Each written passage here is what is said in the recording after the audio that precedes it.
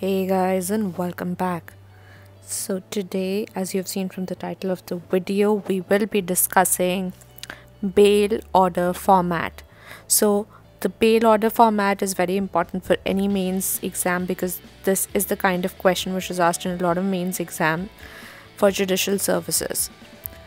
So if you have any of the upcoming mains that you're going for for example mp you might be expecting to go for madhya pradesh mains exam or the gujarat upcoming mains. Either which case order writing formats are very important because they give you a differentiating factor. Everybody studies from the same books be it cpc be it crpc they all know the same case laws. They all know the same law. So if you write order format if you write it in a proper order it differentiates you from thousands of other candidates and it gives the examiner an idea that you're well prepared that you have idea about more than just bookish knowledge. So it helps differentiate you from others. Therefore order writing formats are very important. We have a detailed video and foundation course on the order writing format like we have a 40 minute video on it with all of the order formats that you might need for any mains exam. We've also done a video on temporary injunction order which was under the CPC realm and today we will be doing a bail order format which falls under the CRPC realm. So now you know why order writing formats are important, how they differentiate you, how they can get you extra marks and even one mark matters a lot. So having said that, let's get into the bail order format. So on your screen you can see that the bail order format in this the question has been given on your screen that Sumit has been charged under section 356 and 379 of IPC for snatching the chain of a woman. He has been in judicial custody and the recovery has been made based on his confession. He moves a bail application, dispose this bail application with an order. So this is the kind of question you will get in your mains judicial services exam. Then you can see the answers also given on your screen. First of all, the name of the case is given state versus Sumit Kumar and then you have to write present. So who's present? For example Shri ABC APP for state. The APP or the assistant public prosecutor for state is always there. So you have to write APP for state. And then you have to also give that who's the advocate who's present for the opposite side for the defense. So Shri XYZ that is advocate for the accused or the applicant. You can also mention one line that the accused is in judicial custody. Then you have to give the date and then the order starts. In the first paragraph, you're only going to give the facts of the case. Over here, you can see that the order, this order of mine will finally dispose of bail application of the accused, Mr. Sumit Kumar. In FIR number so and so. So you must give the FIR number or the complaint number or the case number. You must mention an FIR number 120 2017. Then you give a little bit of the facts saying he has been charged under section 356 and 379 of the IPC for allegedly snatching the chain of a woman. He has been in judicial custody. Based on his confession, a discovery of gold chain has been made. Accused made the bail application and reply has been filed. So now you've given the basic facts of the case. What has happened so far, who has filed the bail application, a reply has been filed. Then you move to what the arguments are in the case. So for example, over here you will say that the learned APP has argued that Sumit is at flight risk and there is another case pending against him. This will depend on whatever the facts are given in your question paper. He will give whatever the state is contending. You have to present it here in the second paragraph. Then it says this makes him a threat to society and his bail application should be rejected. So this is the argument of the state that he is at flight risk, there is a case pending against him, he is a threat to society, he should not be given bail. So these are the arguments of the state.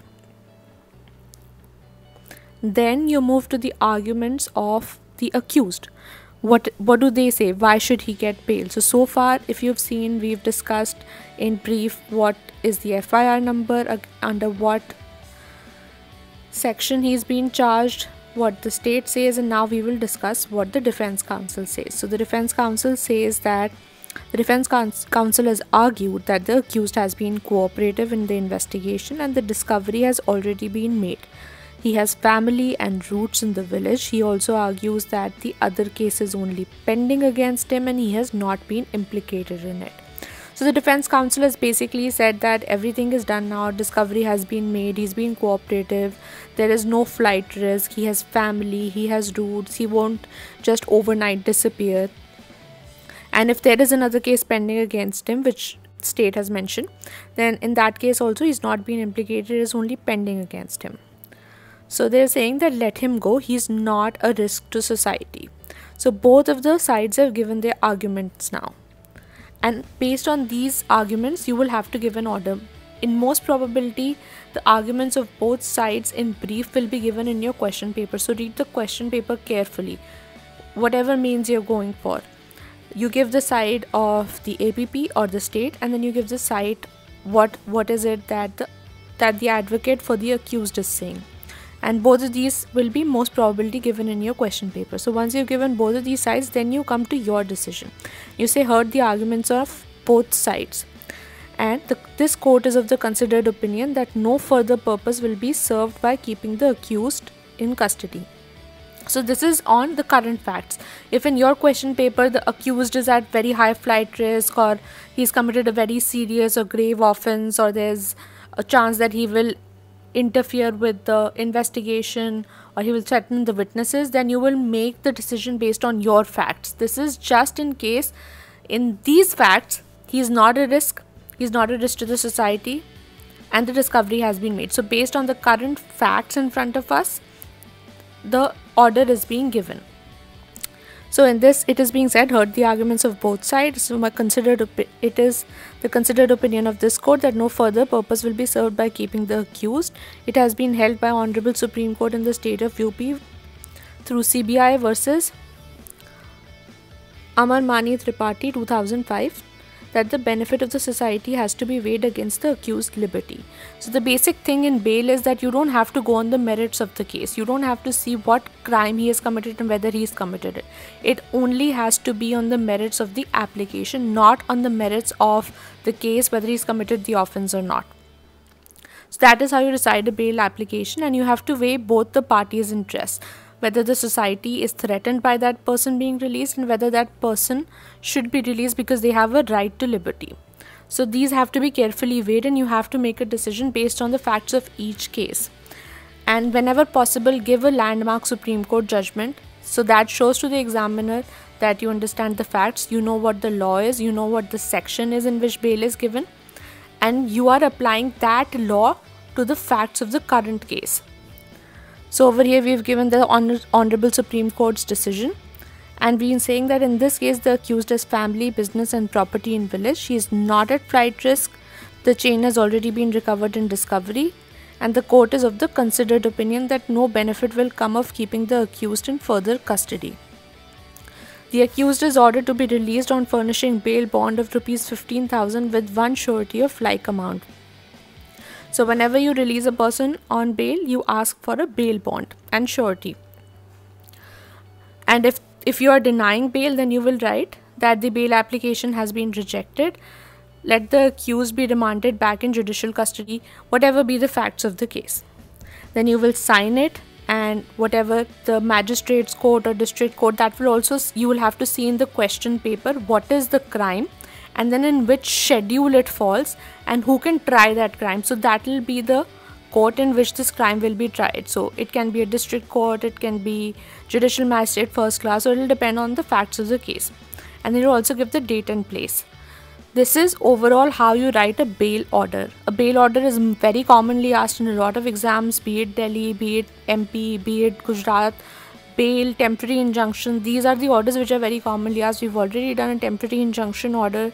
This is we have done a bail order now, and we have a detailed 40 minute video in the foundation course on order writing formats. It has all the order writing formats that you need how to write theoretical answers, how to write judgments in criminal matters, in civil matters, how to write orders in civil matters, in criminal matters, how to write orders if you don't have enough time charge framing format. So if you're going for any mains exam or you want to prepare yourself you want to give yourself an edge over others because most people don't know these formats. So this is where you can really differentiate yourself from others. If you want that you can check out the detailed video in the foundation course on uh, order writing formats that video is available individually and also as a part of the foundation course in which you get 6 videos and 4 bonus content. So 10 things in total in the foundation course or you can individually also get the answer writing formats video.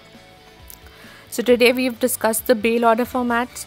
Whenever you're preparing for judicial service exam try and practice these as much as possible. All these answer writing formats judgment writing formats this will really give you a differentiating factor it doesn't have to be too peculiar it doesn't have to be too particular but if you write that it really shows that you're ready to be a judicial officer. We hope this helps and if you have any more questions feel free to ask in the comments. If you have any requests feel free to ask. Make sure you hit the subscribe button so you get notified of new videos